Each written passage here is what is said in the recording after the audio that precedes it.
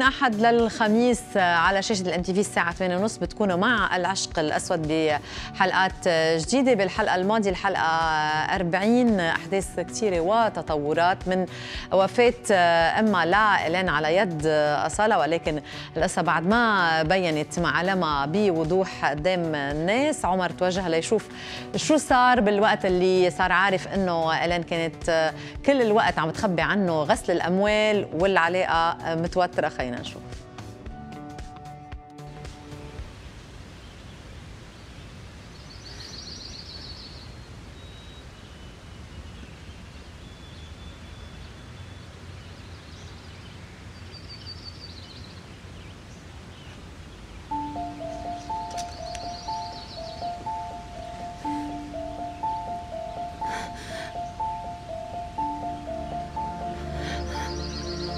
كيف عرفت مكاني؟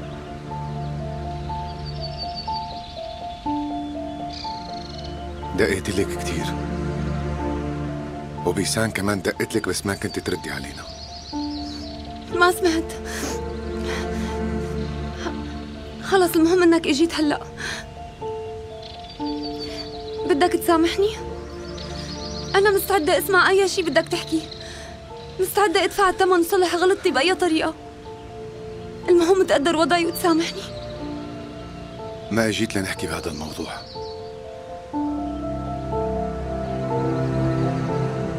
ليش اجيت؟ صار مشكلة جديدة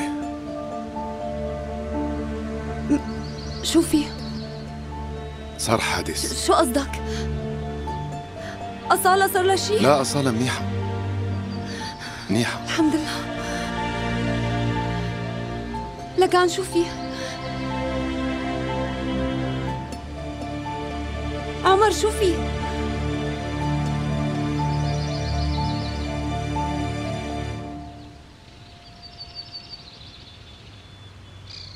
البقية بحياتك أمك توفت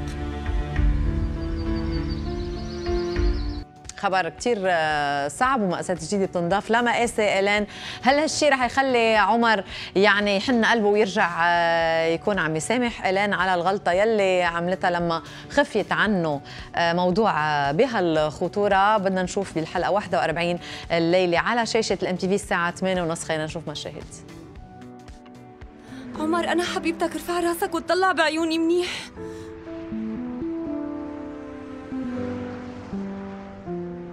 أنت أكتر حدا بيعرفني على حقيقتي.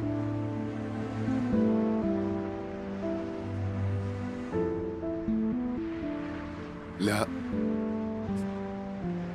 أنا ما بعرفك. وما عرفتك أبدا. أنت غريبة عني مثل أول مرة التقينا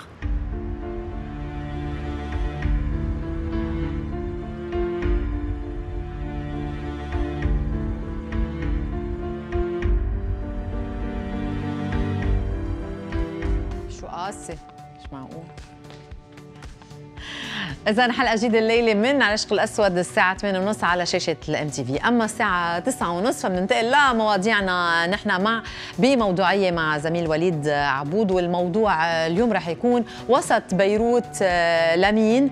وليش اختيار وسط بيروت لكل هالحراك؟ وطبعا رجال الأعمال عندهم اعتراض على هالموضوع. خلينا نشوف.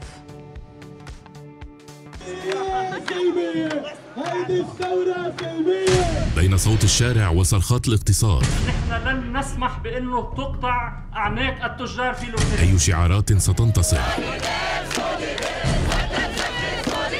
لماذا استهداف الوسط التجاري؟ وأي عناوين جديدة للتحركات؟ هل وقعت المواجهة بين الهيئات الاقتصادية والحراك المدني؟ هل الخيار محصور بين سقوط السلطة وسقوط الحراك؟ وسط بيروت لمن؟